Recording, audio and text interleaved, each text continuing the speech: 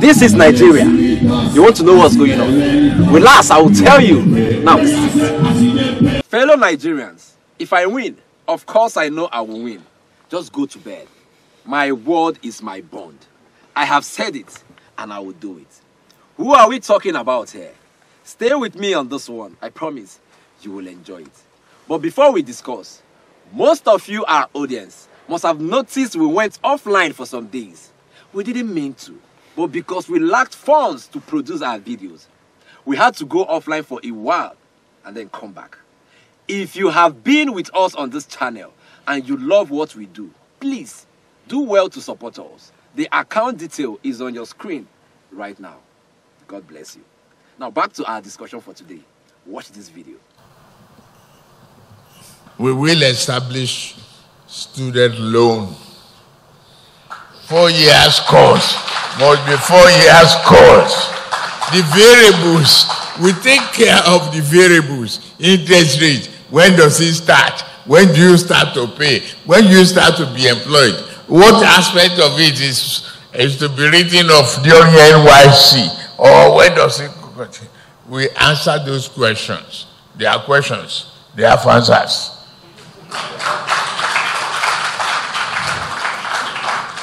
Conceptually, the student loan, no one should be left behind.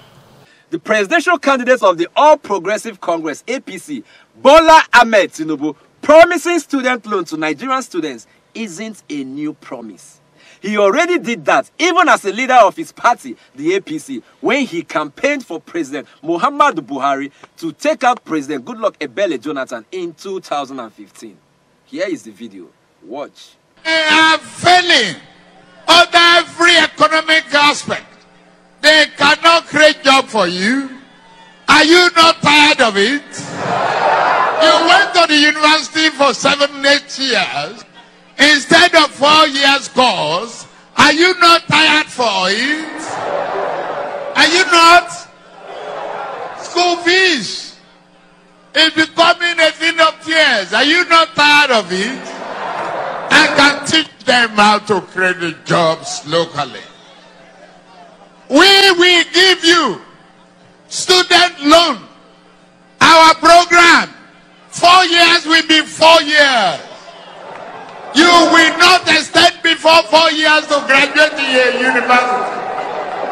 By the time on your fourth year, you will be taken through that critical part. He said he wants to address the Nigerian youth. I'm now replying to President Said Lord Jonathan. He said he will address the 10 billion jobs? How? How? How? The question is, has Tinubu and his party, the APC, kept to their promise of student loan over these years? Tinubu and his party, the APC, promised to eradicate ASUU strike and make four years program to be four years without any extension. It's just too funny that the longest ASUU strike ever witnessed in this country happened in this government headed by the APC. How then do we trust this same party and its presidential candidate, Bola Ahmed Tinubu? I'll leave you to answer that question. How about fuel subsidy removal? Tinubu have something to say. Watch this video. Ah, ah, ah, ah.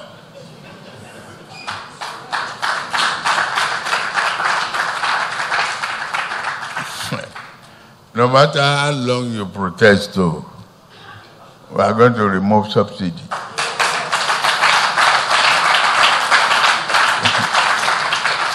that is the truth. That is the truth. Uh, unless you don't, you know, and I'm going to win this election.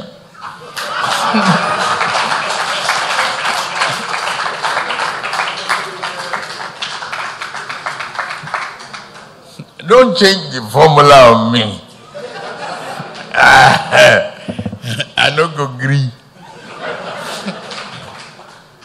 but once Buhari keeps his promise of free and fair election, I'm going to win.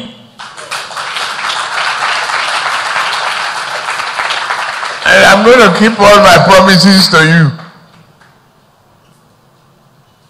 Why should I live as a rich man? Or fairly rich man? I forecast. Forecast cars. Four. I'll be paying the same price for Morris Minor.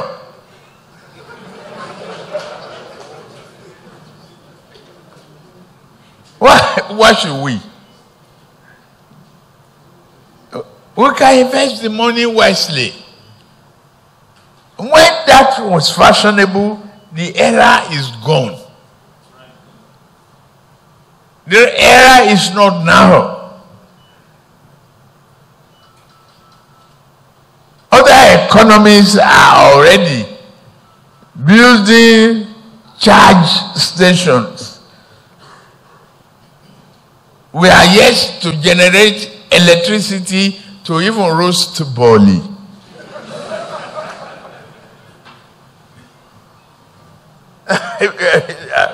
it's not comparable, hey, that job. Please, let us do it. We can do it. You heard him right. If you like, protest from Damascus to Jericho. His mind is made up on fuel subsidy. He said he will remove it and nothing will happen. This is very interesting to know. But I do remember that the biggest protest that took out President Goodluck Ebele Jonathan from the Aso Villa was about fuel subsidy removal. And it happened right there in Lagos State with the stakeholders as members of the now ruling APC. That protest was put together by Pastor Tunde Bakare, who today is a member of the APC and even contested the party's primary to replace President Muhammad Buhari. But then he couldn't secure even a single vote after his uh, long sermon to the delegates. Tinubu, as the leader of the party APC, couldn't convince President Muhammad Buhari to remove fuel subsidy during his eight years in office as president. Same Tinubu is campaigning with fuel subsidy removal today. Nigerians, it's time to wisen up. So, is Tinubu in any way passing the message that President Buhari, who he looks up to and wants to continue with his legacy, according to him, failed Nigerians? This can be very confusing. Finally, PVC collection is now on. I will close on the 22nd of January 2023.